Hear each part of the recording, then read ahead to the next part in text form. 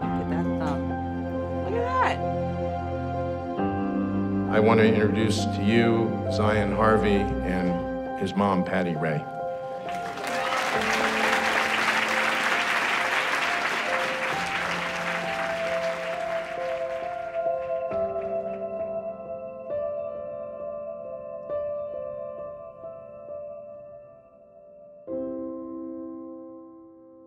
Tell me what you told me last night at the playground about writing a letter, because that was very special to me. What did you want to do? I just want to write a letter to the parents so for giving me their son's hands because they didn't have to do that if they didn't want to. You're right. That's very special. You know that? And the fact that you want to talk to other kids who might have this is really special to me. That, that's really, really pretty uh, amazing. And you know what? You're going to help a lot of people. That's what we hope. We wanted to help you first, but you're going to help a lot of people. Did you know that? And I don't mean the Baltimore Ravens. Don't worry. I think from an emotional standpoint, he remains a remarkable young man because here we've had weeks of hospitalization, a daily request for him to interact, to do therapy, to undergo testing, to interface. And again, there's never been one iota of resistance or I don't want to today or I don't feel like it or things that we- we might hear from an adult, let alone a child. Okay, try to open that thumb up. Good squeeze, good squeeze, good squeeze. I, I can't remember, you know, any child of his age who's been this mature, always with a great disposition. Don't be getting too comfortable. You look like you're about to sleep. Okay, I won't sleep. I would say preoperatively, he was very motivated and excited about the transplant, but postoperatively, we were incredibly impressed by Zion's positive attitude and his continued motivation to go through therapy. And I think we can see how proud he is of where he's at today. Music time is over, so it's time to sing goodbye. Goodbye. You know this.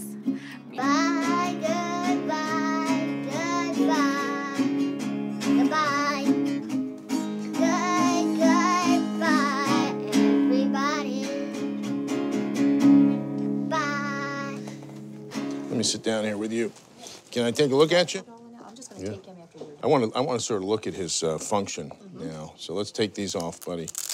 To see him, you know, start to hold objects, scratch his nose, uh, shake hands goodbye. Uh, his function's far from normal, but in a very short time, he's demonstrating that the tendons and the joints and the and the muscles that we've attached to these new hands, his brain is communicating with his hands. His brain says for his hands to move, and they move. And that in and of itself is remarkable because for six years of his life, that part of his brain, if you will, was asleep. There were no hands to activate.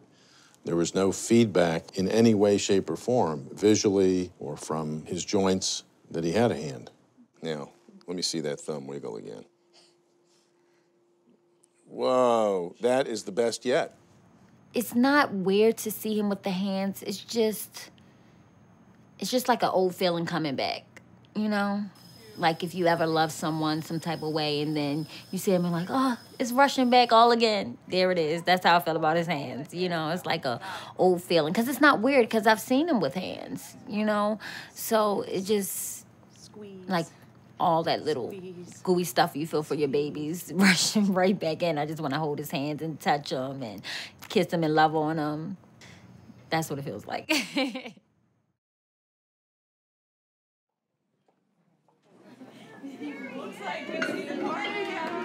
We dressed the place up a little bit for you. You see? Today is a celebration of what we do at CHOP, but most importantly, it's a celebration about our buddy Zion, okay? So we wanted to have a little pizza party for him uh, and have you see the end result of what we've started here. All I want to say is the next child that comes along, I know you will do the same as you done for me and every child that comes along after the next, you will make them feel a part of the world again.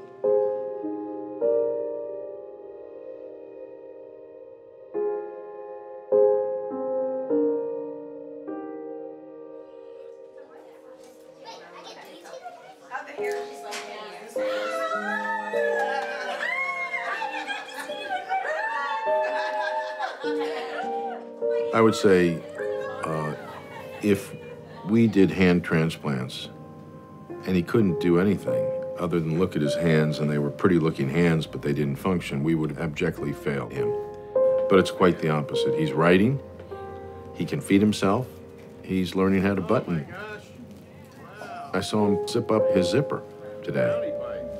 So he's gaining independence, which is the entire reason why we do this Zion's hands do grow with him, and we, we make sure that when we do the surgery, the growth plates stay open so that his hands won't grow with him. All right, so I know you know how to do this. It's only been eight months, but we can see that the size is proportional. 20 by 8 inches. Well, in eight months since we did the transplant, he's made tremendous progress. I mean, it, it took over a month before he could leave the hospital and go to rehab. Now he's transitioned to home with his family. When we initially did the hand transplant, uh, we used you know some of the skin from the donor and some from Zion, but we saved a lot of extra skin between the two of them so that uh, we could accommodate for swelling after the surgery. And so once the swelling has gone down, as it has, uh, there's some extra skin, and we do plan to go back at a later date, usually you know at least a year out from surgery, to take out some of the extra skin and improve the contour. Physically, all the things that we repaired have healed. So he's really in full time rehab mode right now. Pretty awesome. I think just how incredibly well he's done with getting through the ups and downs of you know the recovery and the rejection episodes and some illnesses that he's had over the winter just like any other kid but he and his family have managed uh, so well you know, beyond our expectations.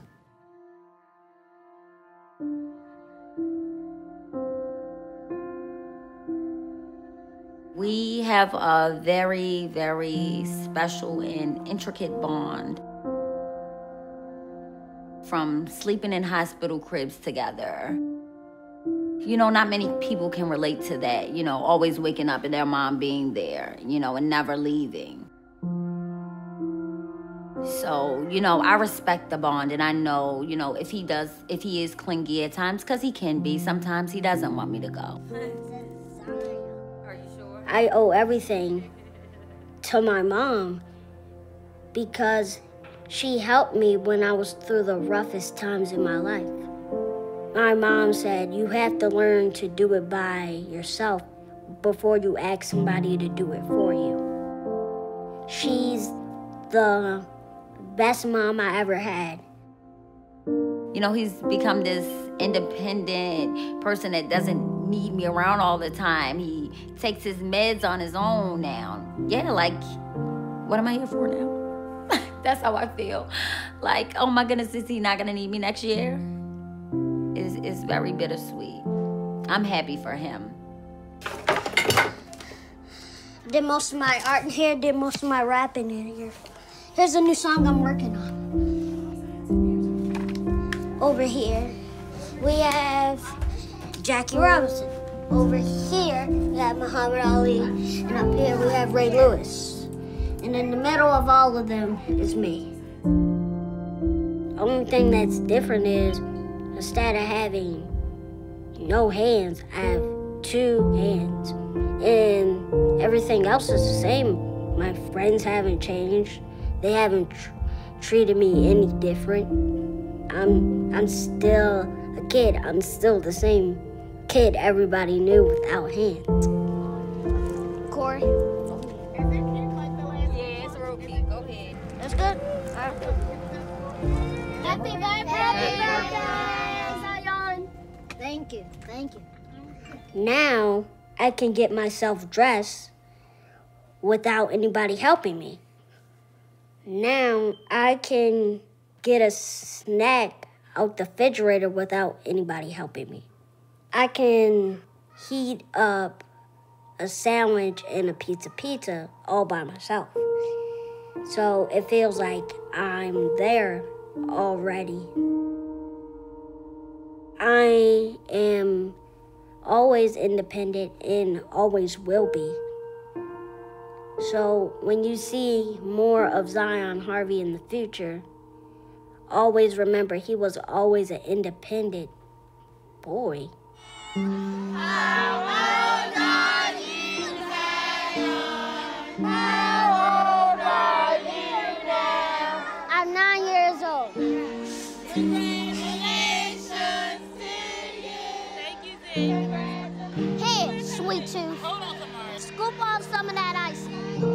Looking at my wheelchair right now, and I'm, I'm remembering that when I needed it, it was always there. But now, I got one left hand and one right hand.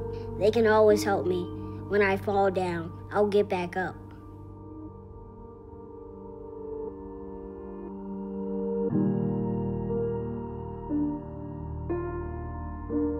There's one thing. If any kid is watching this and you're going through a rough time, never give up on what you're doing. You'll get there eventually.